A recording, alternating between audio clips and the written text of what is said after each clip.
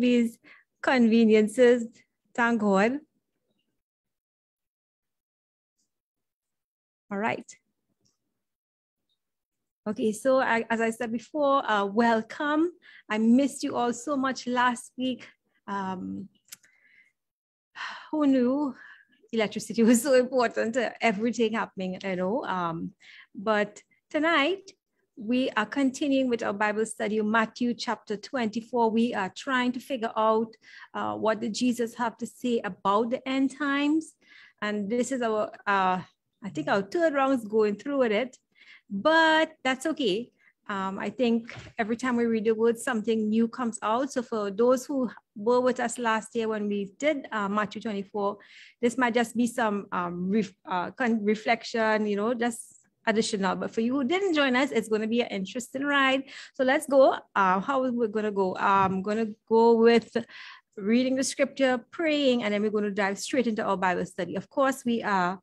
Last time we did um, verses 1 to 14. Tonight we do Matthew 15 to 28, and let's read. Glory to God. When ye therefore shall see the abomination of desolation spoken of by Daniel the prophet stand in the holy place, Whoso readeth, let him understand. Then let them which be in Judea flee into the mountains. Let him which is on the housetop not come down to take anything out of his house. Neither let him which is in the field return back to take his clothes. One to them that are with child, and to them that give suck in those days. But pray ye that your flight be not in the winter, neither on the Sabbath day, for then shall great tribulation, such as was not since the beginning of the world to this time, no, nor shall ever be Except those days should be shortened, there should no flesh be saved, but for the elect's sake, those days shall be shortened. Then if any man shall say unto you, Lo, here is Christ, O dear, believe it not.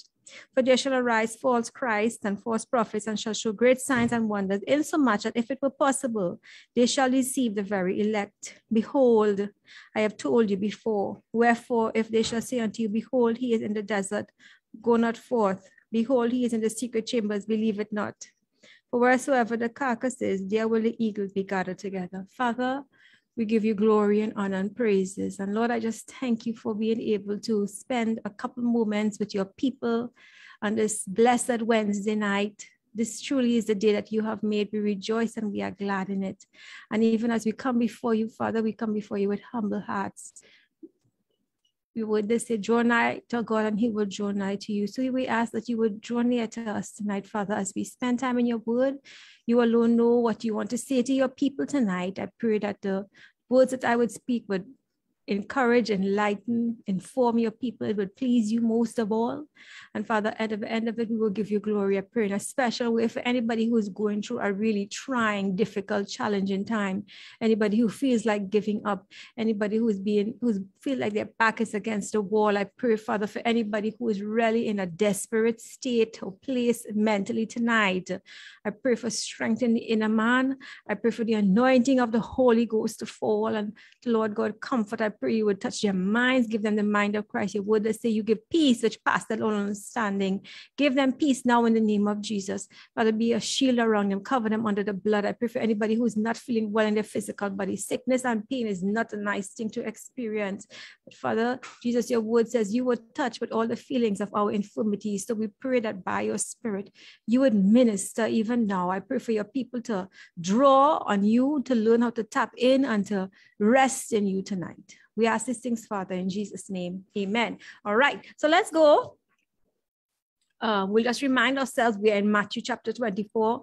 This is called the Olivet Discourse. Jesus is indeed um, spending his last week with his disciples, and he begins to give them a picture of what is going to happen in the, the last days, the, the end of times. we remind ourselves that Jesus had just left the temple grounds, and it was a massive, beautiful structure, grand in every way. And it was the pride and joy of the Jews as well. Herod had his own ulterior motives for constructing the building, but indeed it was a grand structure. And when Jesus gives them the news uh, in our last um, Bible study that is going to um, Every, he said specifically, there shall not one stone be left upon another. Now, there's a whole thought about um, them and particular pieces of the building. They did not use mortar. So indeed, when they, they put the stones on, it's like they fit each stone into the other. What they call it is an engineering marvel because of how huge the stones were, how perfectly they were cut. Um, it, uh, it still baffles the mind of many. How did they transport it? And how were they able to cut the pieces so carefully to say if you could even run something like a credit card, you could even run a credit card through them so tightly and beautifully they fit. Now, when indeed the Romans came, now let's remind ourselves of something. Historically, 40 years after Jesus gives them this speech, in fact, what Jesus did say happened did happen, right? Um, I'll ask you, I haven't want to ask you a question though. Um, last week, Wednesday, around one o'clock, um, electricity went at our home. And I called, I called Pastor, no electricity. I called Dave, no electricity. I called my sister. They have electricity, but they had generators. Tried to contact with two or three other people, not, nothing. I want to ask a question. My question is Was anybody here warned that last week, Wednesday, electricity was going to go in the entire of Trinidad? Right. So I would see, what I found interesting was when electricity went, we got no water went. We had to be in buckets. The internet, we had no internet. We had no WhatsApp. Oh, and and the thing is about it, you know, when electricity goes an hour too fast, but you see when it comes to night and you have to boil kettle and you know um place hot mosquitoes at home. Oh my goodness. It it really was um, a very interesting to me. It was an eye opener to remind all of us, indeed, how we are so um, dependent on modern conveniences. What I also want to ask is this: if somehow you were able to be warned that neck, someone told you maybe uh, the day before, a couple days before, on Wednesday at one o'clock, electricity will go in all of Trinidad, water will go, the internet will go down. If you were warned before that was going to happen, would you have done things differently? I would assume some of us would go and find some sort of fan. Um, maybe some of us would have made sure we had batteries in our torch lights. Um, made sure if we have kerosene lamps that you, you yes, there are people still who have kerosene lamps, right? We still have, right? Uh, make sure that you had uh, fuel for that. Um, maybe if you had real finances, you could have made sure you had a generator or some sort of backup power. I mean, there's so many things you could have done to prepare, but we couldn't. We were not warned, and therefore we could not have. But if you could have, you would have. I'm sure a lot of us may have done things a little differently. Maybe you wouldn't have bought ice cream the week before. I mean, electricity going for so many hours. Um, brother Dave put up an inverter and put it onto the fridge because we had um, stuff in there. You know, so my, my point is though, we didn't know what was going to happen. We were not prepared. And therefore, when it caught us unaware, we were really in a position of being dependent on whatever we had around to make do. In this instance, in Matthew chapter 24, Jesus is telling them what is going to happen in the future. The first thing he says to them is something that shocks them because, of course, they in those days, the temple was actually, they said, um, would have been considered one of the modern marvels, wonders of the world. It was beautiful, it was grand, it was huge, and it was made with great um, expensive materials. Right? There was a lot of gold in that temple, as you know, and, and I did the tabernacle with all of you. The, the, the candlestick, the table, all of this is pure gold, right? So now we see Jesus gives them a picture of what's going to happen. So about 30 something years later on, the Jews, of course, we know the, the, the, the big thing was Jesus, are you going to liberate us from the Romans? Indeed, he didn't come for that. That was not his purpose. And, and, like I said last time, they wanted physical liberation when the more important thing Jesus came to do was to give them spiritual liberation. And they didn't see it. They rejected. Basically, they had um, in their mind what they wanted as a savior, as a redeemer, as a messiah. And when Jesus came and didn't fit into their mold, even though he fulfilled scripture and even though he did all those miracles and all of those things, they rejected him. Right. And Therefore, they rebelled. And in AD 70, as Jesus said, the entire structure was completely demolished to the point now where no one knows for certain where exactly the location of the um, temple was on Temple Mount, right? And, and I showed you last time a picture of there was all remains now is indeed a couple big, huge um, boulders, well, cut out stone that fell, right? And these are all the way down to the pavement on the on the outside. Remember, the, the Temple Mount is a is a, lifted area, right? So I'll send you some, I'll, I'll do some pictures for you. But what I want us to see what Jesus said happened. And now he begins to tell him some things that happened. Now, for any of you who are following world news, you know that um, the Bible, what does Jesus say? He says in verse 6, right? You shall, well, let me just, just refresh one thing. Many shall come in my name saying, I am Christ, and you shall be deceived. Now, what I want you to see in this chapter is indeed, it seems like there is a progression. Tonight, as when we go into it, we'll see we, we're going to be smack middle in the tribulation. But for the first 14 verses or so, this is events preceding the tribulation, the rapture of the church, right? We know the next big thing that's going to happen to all of us is the church is going to be raptured, the seven years tribulation, at the end of that, the second coming of Christ, right? We remind ourselves that we are in the um, end times and Jesus gives some warning. Now, what I want us to see is this all of these things that Jesus talks about wars, rumors of wars, nation run against kingdom, king, famines, pestilence, earthquakes in diverse places all of these things have been happening from time immemorial on earth. But what we have to look out for and what should put up our little antennas and to be more aware is this. When it becomes a global thing where a lot of rumors of wars right now we heard this whole thing about um, china we know about iran now we hear that war is looming between russia and the ukraine we will only see what happens it the the everything I've seen they say is going to happen soon. And if if so, in our lifetime, well, that is us who are old, young, 40s or so ish, that will be the first major war that happens. Now, remember, I, I, had given you some stats about wars, the amount of wars that are currently going on. That's not the only one, but it will be if you you see what's happening is the world leaders and um, the American president, they're meeting with him asking him to, to put it off and, and, and they're going to start to do sanctions and we'll see how it goes. If it if it does break out now, we see indeed, like I said, what we have to look at is is everything getting is it is it everything on a global scale increasing? So is wars in uh, wars increasing, rumors of wars increasing for sure. I can see and and next time, two things I want to discuss next week is the whole Shemitah year and the um, year of rest and also um, Petra, right? We'll try to do it next time. But nation against kingdom, kingdom against kingdom, right?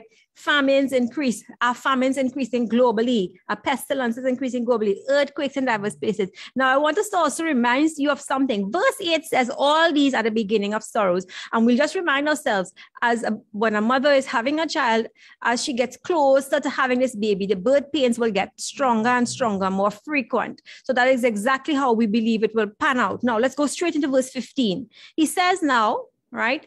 I think I probably have two or three slides, Brother Dave, and then we'll go straight into it. But verse, verse 15, right? The last thing he said is verse 14. Gospel of the kingdom shall be preached in all the world for a witness unto all the nations, and then shall the end come. Now, verse, right. So, first slide, Brother Dave. Right. So I, I got I found a statistic on um it's Bank My Cell. It's a it's a blog, and they said how my question was how many cell phones are in the world. Now verse 14 says, Gospel of the kingdom shall be preached in all the world for witness. Do you know right now that 83.89% of people in the world have a smartphone? Right, which it, it equals to 6.64 billion. And listen, right, this calculator as I was doing it, the numbers just kept, it literally was trying to kind of keep a, a track of how many people, people, I mean, the amount, the, number, the numbers just kept increasing, increasing, increasing. I'm sure if I go um, this week, I will see increased numbers. So we see here um, something very interesting in that while they are, everybody has a cell phone now, we all, sorts of ages. And now with this whole glo- this pandemic, we literally can't function without some sort of device to be able to use the internet and to be able to use social media to get our information, right? So what I want you to see is we are much closer to that. Now there are some people who, who don't believe that um, that verse specifically means the gospel has to go to every single person in all world, but we will see how that goes. What I, my point is though, there are so many smartphones and there, there's so much gospel out there, right? I, I just want to make a plug for this. If you have, are on social media and you have a presence and you post things, I want to encourage you to be, uh, you are in a great position to spread the gospel, right? It's not only um, pastors or preachers or teachers. You are in a position where you can post something. I'll start with this, a basic thing, WhatsApp. You know, every single day i want you to put up status on your whatsapp if you do if you don't know how to do it ask somebody and you find an encouraging text about jesus i want you to become a great evangelist for the lord that doesn't mean you have to go on and stand up in a church this the entire everything is changing and and i feel the people that you have who are your friends who are um, you know, and even on Facebook, find encouraging things. And every day, you you know how to use TikTok, make it nice. I saw this little girl, you know what she did? I can't say if it's on YouTube. It's a called a short. Anyway, and all she did was um speak, uh, point a scripture came up above her head, and she just wrote a little scripture. Anything you know to do to spread the gospel, I want to encourage you, you or your children, especially your children. You know there is so much out there, and I want you to, all of us, to get into the habit of using our technology. If we know how to use it, if we know how to post something on Facebook, post something on um, even on WhatsApp you know, you could send forwards to your friends. Now, some people get annoyed if you send them too much, right? So don't send them like 10 or 20 per day, maybe one per day, one per week, right? Pace yourself. But what I want to encourage you to do is to be a great evangelist. And that will come by you purposefully every single day. Even if you find a nice script, just start posting it. And people, you know, people literally go through stuff, lots of stuff. One thing that you might say might draw them to Christ. Next slide right? So now we're going to go verse 15. This now is abomination. Now he says, therefore, Jesus is speaking. He says, therefore, when you see the abomination of desolation spoken of by Daniel the prophet standing in the holy place. Now, I will explain that to you in a minute. Now, in brackets, it says, whoever reads, let him understand. Um, what uh, Bible scholar says, this is not Jesus's words. This is the words of the Matthew, and he's saying, pay great attention. You need to figure out what is happening, what is happening in Daniel. Now, Jesus quotes Daniel, right? So, but by one way, he verifies it was a prophet. Daniel was indeed a prophet. Daniel, the book of Daniel is actually called the revelation of the Old Testament right? One day, if we get brave enough, we'll do that book, right? So let's go into what is the abomination of desolation. I'll remind you, abomination is something that is de- it's detestable. It's disgusting in the eyes of a particular people, right? So now, for the next couple of verses, you will see things that apply and would stand out to Jews. Now, like I said, in verse 15, it seems like we have made a fast forward into the tribulation right? So we make the fast forward. Daniel speaks about something that's going to happen midway of the tribulation. The tribulation, of course, we know is seven years of God's wrath being poured on earth, poured out on earth in a manner and a fashion that was has never been, right? So anything you've ever seen before, any document, any historical stuff you saw for tragedy or drama or disaster, not that can't touch what is going to happen right? So we see abomination of that something is going to happen that is so horrible that the jews now are just going to scatter. Go ahead. Good. So let's read now. So he says prophet daniel. So i'm going to show you the scriptures that were in daniel it says right? Daniel chapter 9 verse 24 to 27 i'll read quickly. 70 weeks are determined upon thy people and upon thy holy city to finish the transgression, to make an end of sins, to make reconciliation for iniquity, to bring in everlasting righteousness, to seal up the vision and prophecy, and to anoint the most holy. So, indeed, this is all pointing towards the second coming of Christ. But of course, um, certain things have to be accomplished first. He says, No, therefore, understand that from the going forth of the commandment to restore and to build Jerusalem, unto the Messiah the Prince shall be seven weeks, three score, two weeks. We discussed that last year. The street shall be built again, the war and even troublous times. And after three score and two weeks shall Messiah be cut off, but not for himself. And the people of the prince shall come, shall destroy the city and the sanctuary, and the end thereof shall be with a flood, and unto the end war desolations are determined. Right. And he shall confirm the covenant for many for one week, the midst of the week, he shall cause the sacrifice and the oblation to cease, the overspreading of abominations, he shall make it desolate. Right? So now I'll give you a, a, snapshot into what's happening. We know in AD 70, the temple, Herod's temple, the, the Jewish place of worship was destroyed. So therefore, also I, I, heard someone say this, and I say, you know, it, it, he had a point. He said that there is there at Jesus's when Jesus died, the need for animal sacrifice ended. It ended, and therefore, indeed, 40 years after um, Jesus died and all of that went to heaven, the temple was destroyed. And since then, the Jews have not been able to sacrifice in a temple. They don't have a temple. They have synagogues now, small places of worship, but they don't have a temple.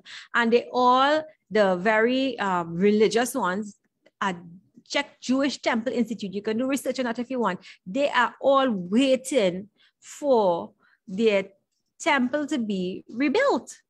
Right now, it's a lot for you to take it, but here, let's say what like this. When the Antichrist comes on the scene, it appears as if he will help them. Now, of course, we know on the Temple Mount that that is a um, administratively managed by the, the Muslims, and they have um, their, their special holy site there. And therefore, there is no place, there is no space for a Jewish tabernacle or temple to be built. But of course, the Jews hold to the fact that that location is where their temple tabernacle was the te- temple was built and therefore it has to be there. So we will see how it goes. But basically what's going to happen is this. The antichrist is going to come on the scene. He is going now as you see there's wars and rumors of wars that's taking place right now. But he will bring in peace on a, on a level and a scale the world has never seen before. He will help the Jews. We believe that he will help the Jews rebuild their temple location, unknown yet, but the Jew apparently the Jews will be completely and totally duped by the Antichrist. He will be a charismatic leader. Now, in the midst of the week, now I already explained to you the weeks really mean um years, seven years, right? We already know that. So in the midst of it, which is really um at the three and a half year point, he will come into the tabernacle and declare that he is the person to be worshiped, that he is God and he expects all of them to worship him. At this point in time, though, he would be so powerful. He would have um, reign, government reign. He will have so much um, clout, as they say. They would not be able to say, we won't worship you. Of course, we know the Jews only worship the one and only unseen God. So basically, it is an abom- it is something detestable. He will come in, he was in, in their tabernacle at the three and a half year point and say, I am God, worship me. If you don't worship me, pressure. No, his plan is to completely, and has always been the enemy's plan to destroy Israel and kill all the Jews. Right? That's his plan. Next slide. Right. So in Daniel 11, 13, it says, there are actually uh, four instances where it's mentioned. His arm shall stand, they shall pollute the sanctuary, take away the daily sacrifice. So now uh, the, I want you to imagine in your mind, we are in the tribulation, halfway point, the temple is rebuilt, they're doing the daily sacrifices, and they shall take the place of abomination and make it desolate, right? From the time of the daily sacrifice, Daniel 12, 11, from the time that the daily sacrifice shall be taken away and the abomination that make it desolate is set up there shall be a thousand two hundred and ninety days. Somebody check that and tell me how much that is, right? Good. Now, remember I mentioned that if we look at the, the, the Gospels, we look at the epistles, we look at the book of Revelation, and we look at the prophets, there is no way um, we can understand the book of Revelation without the Old Testament, right? So now we're looking at the epistles, and here's what um, Paul says. He says, Let no in Second Thessalonians 2, 3, and 4. It is so beautiful to see how scripture supports scripture and scripture helps you if you you really do your research it, it supports and helps you have a greater understanding when you begin to see how much this thing is intertwined and interconnected he says, Let no one deceive you by any means, for that day will not come unless the falling away comes first. The man of sin is revealed, the Antichrist, the son of perdition. Right? So here what it says, he will oppose and exalt himself above all that is called God or that is worshipped. So we see here very clearly he what he's going to do will be is already being told to us right? So Jesus tells us now exactly what's going to happen, and he confirms what Daniel says. He will all that is worship. So he opposes and exalts himself above all that is called God. And you, you let's just imagine we, we live in a we live in a world now where you know there was a point in time I thought the greater ability to access biblical knowledge and books would help. But we know we live in a time and a season, and Jesus did say certain things would happen. He said iniquity, the love of many shall wax cold, and there's a lot of things, the coldness of man and Christians, there were lots of um, coldness and a lot of stuff creeping into the church, the world creeping into the church, all of that. But we'll see here you and I, if I were to ask you now if you would ever worship a man, that is a, a, horrible thing. But do you know there are lots of people now who follow people on um the social media, or even they have they're such a fan of this person, it's almost like they're completely obsessed and totally taken over by this person who has a gift or a talent and ability. Right? And if I were to ask you right now if you would ever worship a man, you would say no. But do you know right now all over the world, there are people who claim to be Jesus Christ. Do up a little search on Google and say there anybody right now who claims to be Jesus. There are people right now. You know, one, my, my thoughts are, you know, somebody deluded, let them be deluded. But the scary piece is people are following them. There are people, not everybody, not masses, but there are people, they all have a following, right? So when Jesus says, don't be deceived, we have to be very careful, right? So let's finish verse four. All that is worship, so that he sits as God in the temple of God. Like I said, he, he now comes in and says, I am God. You have to worship me. And we will see that the false prophet who will be his right hand body will be able to perform signs and wonders. And we know people love signs and wonders. So therefore, if it have, if he could commit um, a sign or a wonder, aha, is he, that is God. That must be God. Mm-mm, not at all. Good. Verse 16, he says now, let them which be in Judea flee into the mountains. Now, interesting um, fact, let us know. We are all, we all live in Trinidad and Tobago. And if there were to ever be a disaster, you and I would not be able to flee to any mountain. Right? There's that is not part of our geography. That is not part, that is not our um that is that is not in the cards for us if a disaster takes place. Go outside and stand up outside your house and watch it, but there's no way go there is no way we have any mountains to flee to. But so so in our minds, that is hard thing for you to comprehend. So I'm gonna just show you something very brief to kind of give you an idea. I will post a video on Facebook of the geography of Israel. So you will see it is indeed what it's called. Let's see what it says. It says it is, it has, it has forested highlands, green valleys, mountainous deserts. We know David at one point in time hid the coastal plains and the Dead Sea. You know, of course, um, Dead Sea is in Israel and it actually is the lowest place on planet Earth right? So it says here there are four geographical regions. It's mostly dry, it's coastal plains, mountain range, hills and valleys, and desert, plus the Kinneret and Jordan River. Good. So you right. So let's see. I just want to tell you some brief facts about Israel because it's kind of important for us to. I know for you, most of you follow these things. It's it's it's news. It's not new stuff. But for anybody who doesn't understand, since AD 70, right? Remember, the temple is destroyed. The Jewish people now is massacres. Um, they said the people they starved them. So a lot of them died inside the city before they even got in. When the Romans get in, out, they do mass killings. Whoever survived now, what they said is they sold them as slaves and sent them to be of course, we know it is a horrible thing to think about, but it was sport to go into arenas and see animal kill. I gotta tell you, that was some sort of barbaric generation. I hope never comes back. But it was sport to see people be killed by animals, right? So in May 1948, Israel was officially declared an independent state. So this is for us to understand. Since AD 70, the Jews, but the Jews lived there. They, they, they, of course, were under the Romans.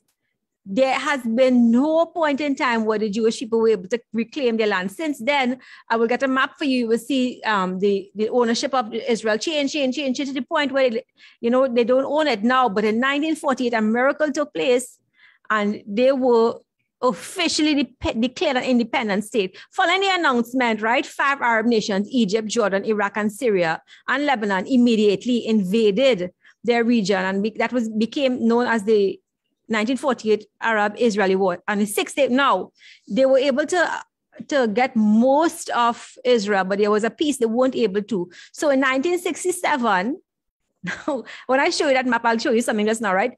Uh, and what started as a surprise attack, Israel in 1967 defeated Egypt, Jordan, and Syria in six days. After this brief war, Israel took control of the Gaza Strip, the Sinai Peninsula, the West Bank, and the Golan Heights. These areas were now considered occupied by Israel, right? So Israel basically, after the Six Day War, doubled its land of course, we know there was a particular minister who gave them, even though every the Temple Mount were, still does belong to Israel, they gave the, the Muslims administrative control over the Temple Mount. And that is a contentious thing right there. Right? Last two more facts I'll let you know. Israel is the only country in the world that has the same name is located in the same land and speaks the same language as it did 3,000 years ago, right? Since the formation of the PLO in 1964, its leader Yasser Arafat repeatedly stated his goal was to completely eliminate the state of Israel. Following uh, him, the leaders of Hezbollah and Hamas in Palestine, along with the Iranian president, continued with the same aim. Their aim is to destroy Israel entirely right? I'll just tell us this. Right, look at this map now. Carefully, it's right? So you see my source, but I want you to see, right? Um, there are coastal plains, there's hills, there's a desert area. The, the geography of um, Israel is amazing, but I want you to see how small Israel is. I, I should put it on a global map. Egypt, Jordan, Syria, Lebanon, they are surrounded by hostile neighbors and if you look at the size of their, how could one small little nation come against all these big nations and win? That's something for us to think about, right? But what I want to see if God has something planned and he, he says it's going to happen, it's going to happen. And the enemy, no matter, and this is what I want you to see the enemy is not on the same, you know, the, the, he's not on the same plane with God. This is like God is fighting this battle with the devil here. It's like God he is indeed in control and real the enemy. All I wanted to, if my hand is here, imagine all the way down, down, down, down, down to the Dead Sea. That is how far. And he's small, small, small, and God is huge, huge, huge. Don't get into the the, the mindset that the enemy is this. I mean, he is indeed a force to be reckoned with, but he can't compare to God.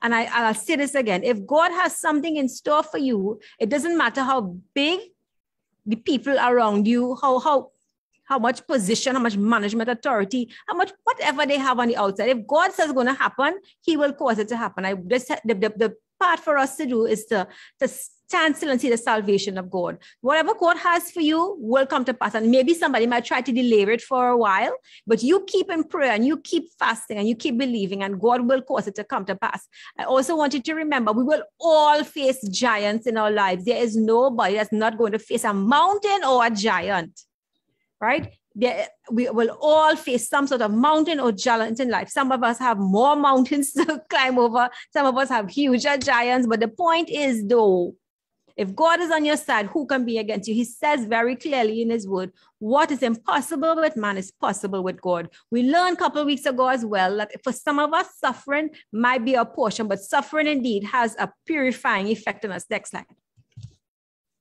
Good. So now he says here in verse 16, let them which be in Judea flee into the mountains, right? So remember, I just told you there's a um the, the geography, of there's a whole hilly part of it, right? So I want you to look at my map. I want you to locate Jerusalem. It's in red.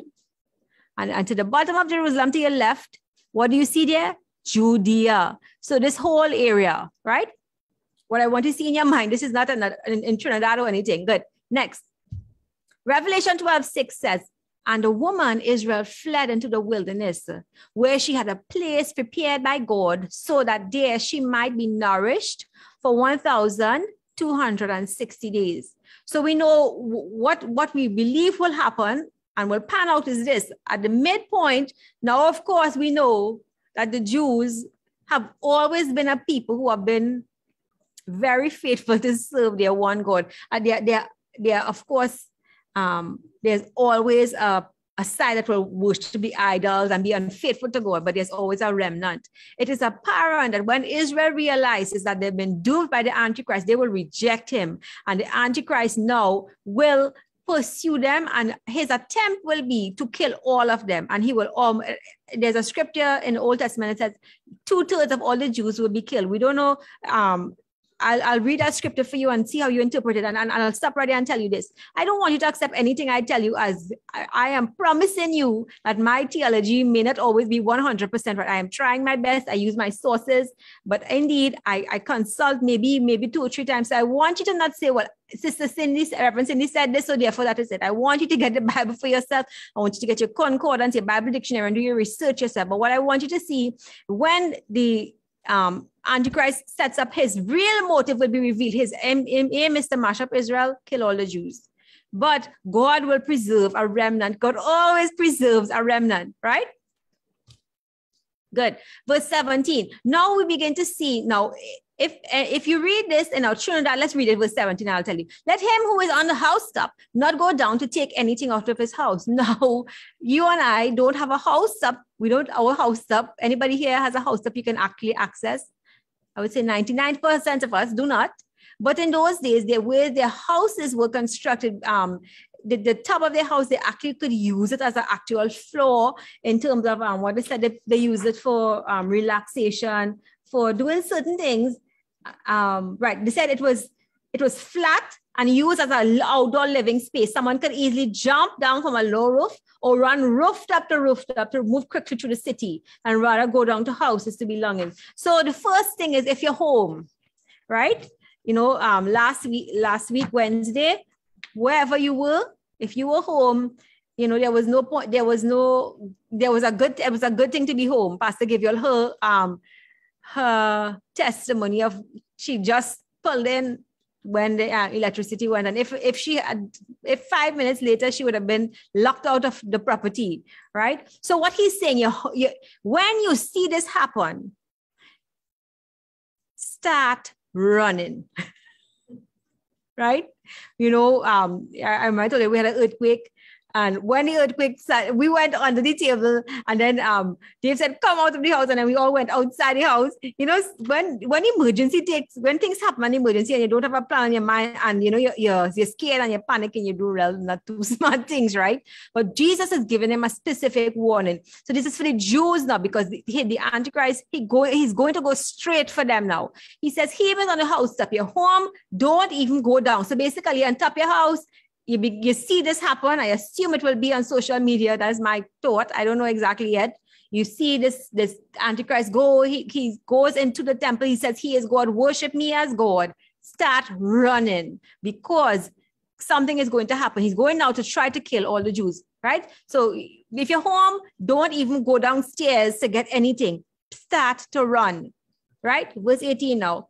Him who is so if you're at work now he said let him who is in the field not go back to get his clothes right? Of course we don't work in fields now but i would you like you to like as if in your, they're in a job or wherever they are don't go back home right? So you, uh, you just it is why is it so urgent to flee though? It's so urgent to flee because it literally seems like the enemy has the antichrist already has his plan i don't know if he's going to use a nuclear um, weapon what he's going to use but it seems like whatever he's going to use is going to be very effective it's going to kill a lot of jews and if they don't follow jesus' instructions they will all die that said, uh, let's remind us of something, an interesting fact I read. It said, you know, um, Jesus, when he gave this warning, um, it's believed that many Christians, right? It says that um, men, when the, the, the war started with, with Rome and the, the, the Jews rebelled and Jerusalem was in um, danger and all of that, it says that in AD 60, many Christians abandoned the city halfway through the siege. So they, it's believed that they kind of took that literally. And we remind ourselves of something, right? There, while we, we hold to the belief that the end of times has not happened yet. You know, there's a whole group of people who believe that we live in the millennium now. There's a group of people that believe that all of this has happened already. Now, I'll just tell you some interesting facts. And I love the whole historical facts, right? There was a guy by the name of Antiochus he was very eh, he came to power in 174 BC. The reason I want to tell you this one story is this. There are a lot of people who said all of these things happened already. We don't believe so. What I believe, remember what I said about the Old Testament? It's a type and a shadow. So something happened, but indeed that was just a, a, a, a shadow, a type of it. But now the real thing is yet to happen. What he did, he did some very horrible things. And um, he when he he hated the Jews, by the way, because um he called himself Epiphanes, which means God manifest. The, the Jews called him Epimanes, which is the mad one. Right? So it says now he he he wanted all of the Jews to become um Greeks to, to convert them to his culture. And, and anybody who refused to submit, he slaughtered them. What do you think he did in the temple? Of course, we know that um, he took, he sacrificed he set up a statue in the tabernacle, in the temple, and he sacrificed a pig. And uh, it's, some people say he made the priest drink the blood, but basically he sacrificed a pig on the altar. And therefore, there, that was one time where there was indeed an abomination taking place, right? Good. Where are we? Verse 18. Let him who is in the field not go back. So basically, Jesus is saying, wherever you are, get out, start running. Where are you going? To the hills right? Like I said, I want you to look at the video I'll post it because I want you to see how Israel, it's not like Trinidad, there's lots of hilly places. And indeed, um, we know that David did some hiding in, in some of those hills as well, right? Verse 19. Let those, go to those who are pregnant and to those who are nursing babies in those days. So my question would be, what are the special features of people who are pregnant or nursing? Of course, the special feature would be they would be slow in terms of being able to run you know, um, you ever try to run with a baby in your hand? That is very, very hard. I it amazes me every single time I go to a sports day and they have a parent and child race, the some parent always falls down. I don't know if you've ever been to a sports day like that. The parent and the child is always a parent that falls down. Right. Of course, we know if you're pregnant, you can't certainly can't run. What was Jesus says? He says in verse 16, let them which be in Judea flee flee means very quickly start running, right?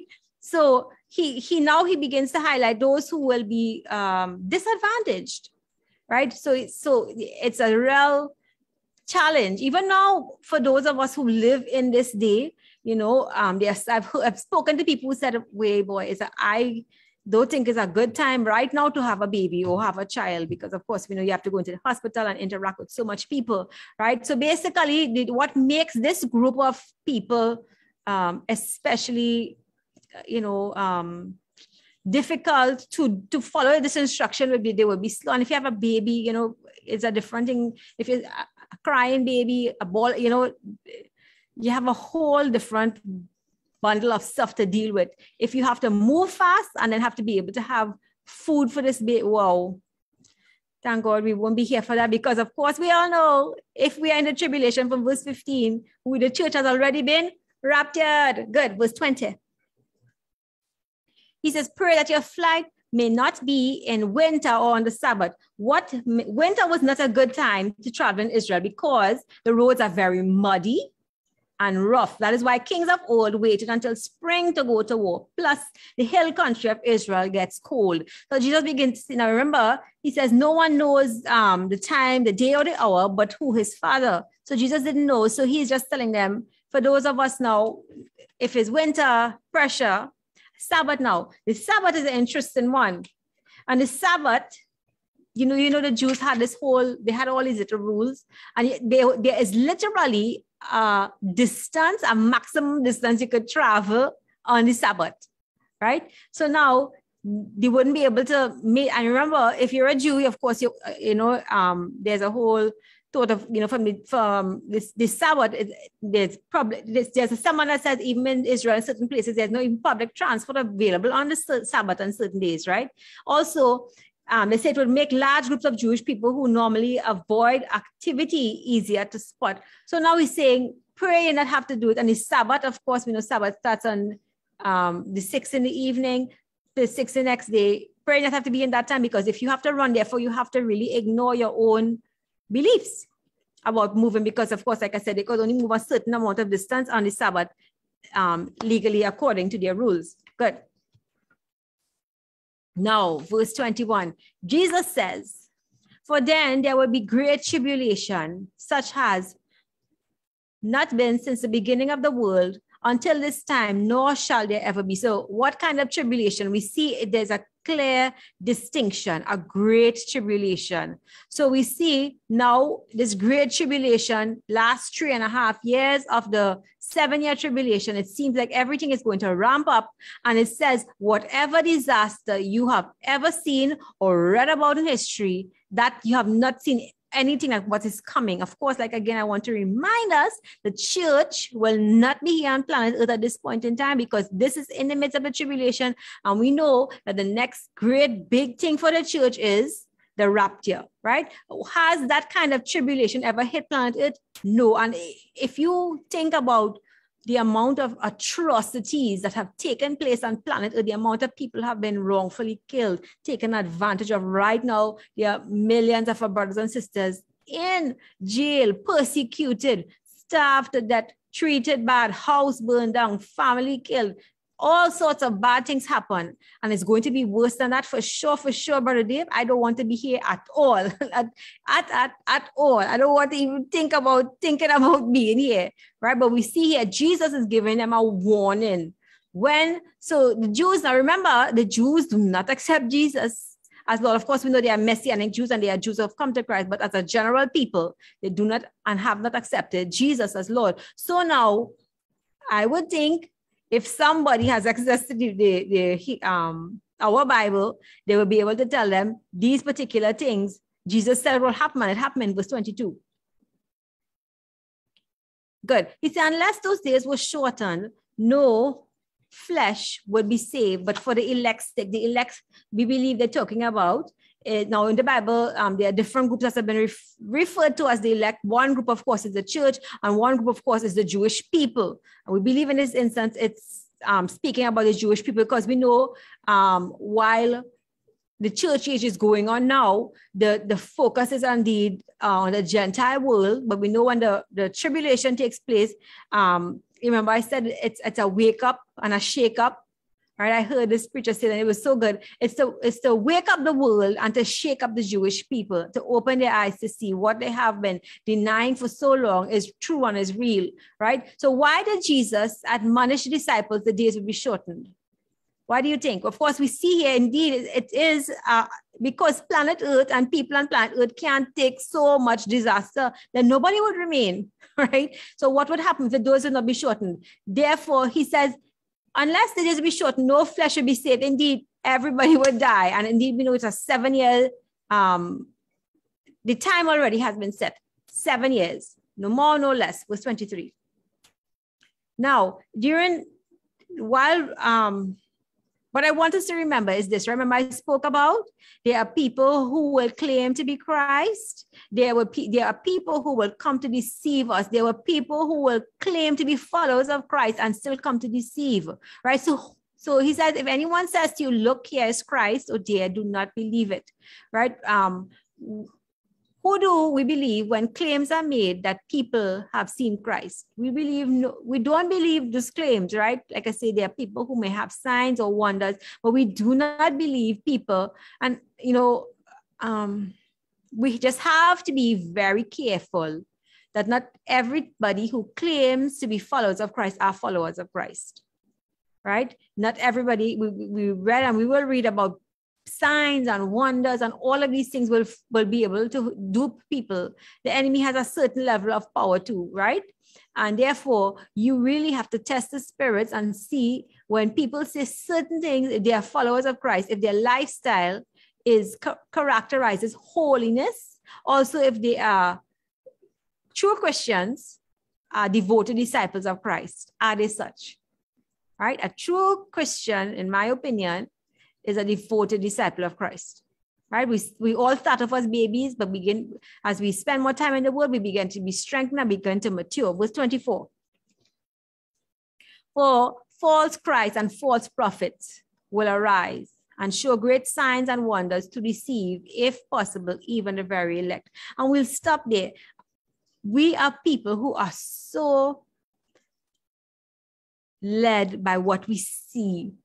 Now, I am not saying you have eyes. Why would God give you eyes if He didn't expect you to use your eyes and see stuff? But what I want you to do is this he, Jesus is giving us warnings. Like I said, there are people who claim to be followers of Christ, but indeed have come on the scene to deceive God's people. If anybody asks you to do anything that is against the Bible, they are not true followers of Christ. There is no new additional revelation. What Jesus need to, needed to say to us has been said in the word already. And if anybody adds, you know, remember book of Revelation, those who add or those who take out, we have to be very careful on how we will not be deceived. The question is, right? He said, false Christ and false prophets will arise and show great signs and wonders. So that's something for us to be aware of. People, there will be false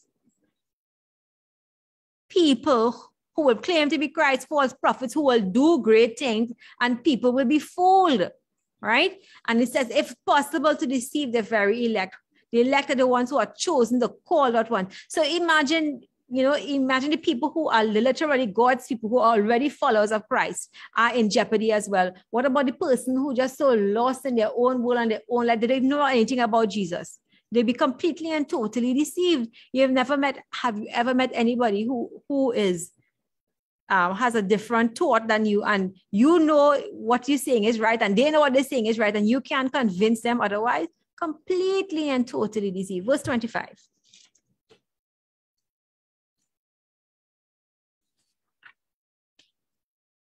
Good. He says, I have told you beforehand. Right? So when we read about all of these things, now remember I said what we have to look for is these things have been happening since we know human history. Imagine the first two children on earth. The first two children on earth couldn't live in peace. It's not like they had neighbors to play with or anybody. The first two children on earth, one brother killed the other brother. So we know uh, just in our nature to be to war, to, to be have strife, to, to, to, to be selfish, all of those things, right? It is in our nature. But um, what I want us to see as well is Jesus tells us certain things here. He says, wars, rumors of wars, is it was anybody, especially when the pandemic now hit, wonder if, if Jesus coming anytime soon. Anybody heard anybody say that Jesus, he says, somebody said Jesus coming this year. I heard a talk about that already, right? Please be careful about listening to people who set dates and times. I, I, I think it's a season, and, and I will go into that a little more detail, but I want you to see that Jesus highlights the point that he is the true prophet. And he is, what he says will come to pass. And all we have to do is judge and say, okay, so Jesus said one, two, three, four. Has one, two, three, four happened? It will, it must. We serve the true and the living God, the God who is in the past, is in the present, and he knows the future. There's nothing that's hidden from him. There's nothing he doesn't know. So my question to you after we read this book, he says, see, I have told you beforehand. What does Jesus know? Everything. And Jesus is a true prophet. Verse 26, almost there. Therefore, if they say to you, look, he's in the desert, do not go out, or look, he's in the inner room, do not go out. My question to you would be, why would people want to lead others astray? Of course, we know there's a whole group of people who are followers of Satan, and therefore their intention is to lead as much people astray as possible because we know that if you aren't living, your heart is not right with God. If, if your, your human life on earth ends and your heart is not right with God, you will spend a Christless eternity. And that is a serious thing to think about and even talk about, right? But basically, Jesus is saying of the people will come and people will, they will begin to say, he's here, he's there. And because people looking for miraculous, looking, wanting the miraculous and thinking the miraculous is must only be linked to God, they will go looking. Don't do that. Verse 27 right? So as the lightning comes from the east and flashes to the west, so also will the coming of the Son of Man be. So this is very clearly Jesus telling us about his second coming. Remember, um, the first thing is Jesus will come in the clouds and he will take his saints, right? he will take the those who are alive and those who went on before. That will be that that that will be the rapture. Now, this the second coming of Christ at the end of the seven years. Now, Jesus comes back and he says here. So, where does the lightning come from? The sky. So it's very visible. You can't really hide lightning, right? And the question is: Is this the second coming of Christ? Yes, it's the second coming of Christ. Verse twenty-eight. We'll end with this one. He says, wherever the carcass is, there the eagles or vultures will be guarded. My question is, why do vultures gather in one place? For all of us who live in Trinidad, you must know when you see a set of vultures gathering in the sky, what happens? You must know something is dead. Right. So, so of course, this is speaking about uh, a big war that's going to take place, and lots of people will die. And therefore, it says, um, there, there's a little discrepancy, some people say, in terms of eagles and vultures, but basically, it's birds of the air will come to feed on the dead flesh. And my question to you was why vultures gather? They gather because they come, you can't hide a fallen body, he says, especially in the open, right? Jesus said it'll be obvious to everyone. Good. What does God know? Everything. I want to encourage you tonight. We, we're ending now. God knows everything. There's nothing that God doesn't know. There's nothing that you're going through that He doesn't feel, that He doesn't understand. We know that everything is for a time and it's for a season. So you encourage yourself to know that you serve the God who knows the past, He knows the present, and He knows the future. For some reason, He allowed you to be alive right now on planet Earth, and He still wants you to be an overcomer and a conqueror. So go to bed tonight with the knowledge that the God that you serve knows everything. Good. How to respond to Jesus's promises. One, Jesus can be trusted because his promises, prophecies come true, right? Jesus can be trusted. And your trust seems like such a simple thing, yet when things happen without God, it is very human to doubt God. But God wants to be our most trusted friend. He wants us to be the people who completely and totally trust in Him, right? So we remind ourselves also that Jesus gave prophecies, and the prophecies at that point in time, in the beginning of Matthew 24, didn't come true, but they have some of them have come true, and some remain to come true yet. Right? But we remind ourselves we serve the God who is the God of the past, the present, and the future. He was, is, and is to come. So therefore, we can be completely go to sleep to bed completely in at peace, knowing our God is in control and in charge. Let's go. Tell somebody, one body, anybody, everybody about Jesus. And I, I think I just want to remind us that you have a great platform with your smartphone to reach people for Jesus. So, in every single social media platform that you are able and capable to post things every day, I want to encourage you to post something about Jesus. I also want to remind you that if you have children, if you have nieces, and the next generation that, that is under you or below you, it is very important that we get them to the point of loving Jesus and wanting to serve Jesus, reading their Bible, doing things that will draw them close to Christ. Remember what, what our aim is? to become devoted disciples of Christ. Let's pray. Father, we come before your presence one more time through the blood of your son, Jesus. I thank you for your people who joined us tonight. I thank you for the place that they are in their homes, wherever they are. I pray you would continue to minister into their, their lives even now. Father, the world, our country, our families, we are going through a global pandemic that has literally thrown some of our worlds upside down there's so much uncertainty around us, but we are certain that you are the God who's always in control and in charge. Jesus, you already told us all of these things will begin to happen on a greater and greater scale as time proceeds closer to the, the time of the rapture and the tribulation and the second coming of Christ. So, Father, as we look around and we, we don't always understand, we don't know the future, you know, we just ask that you would strengthen us to be able to cope with whatever has happened, is happening, and is going to happen. We know you are, and we can be completely confident in you and the word of God that it is truth. You never lie. You can't lie. It's impossible for you to do that. So if you say that you will be our strength and you will give us a spirit of power and of love and a sound mind, Father, we don't depend on our feelings. We depend on you and your word. So we pray that by your spirit, we would, Father, be delivered from all you mean for us to be delivered from, and that we would be great disciples of Christ and great evangelists for Christ. Even though as we end tonight and we, we meet next week Wednesday, I pray your hedge of protection be around your people. I pray for provision for those who are in need, that you would open doors and make ways. I pray that for comfort for those, Lord God, who have lost loved ones and who are still in many their mind is in so much places of grief and and all of these things i pray you would comfort i pray for those in special who are really just dealing with all sorts of new, bad news that are hitting them constantly. I pray you be a buffer around their spirit, man, that it would not cause them to fall or to faint, but they would hold on to you and your promises, knowing if you promise you can do what you promised. I pray for strength in the inner man. I pray for strong physical bodies. I pray for strong minds. I pray for us to be great parents. I pray that, Lord God, we would parent this next generation, that they would do more for you than we did. And that, Lord, even though we are going through the global pandemic and our children aren't able to go and, and go to church as normal, that, Lord, we would find a ways, creative ways to cause our children to fall in love with Jesus every day. And we ask these things, Father, in Jesus' name. Amen. Amen and amen. Okay, so that's it for us tonight. We ended a little late, so very sorry. Love you all so much. The Lord bless and keep you. The Lord make his face to shine upon you, lift his countenance upon you, be gracious unto you, and give you his peace. Amen.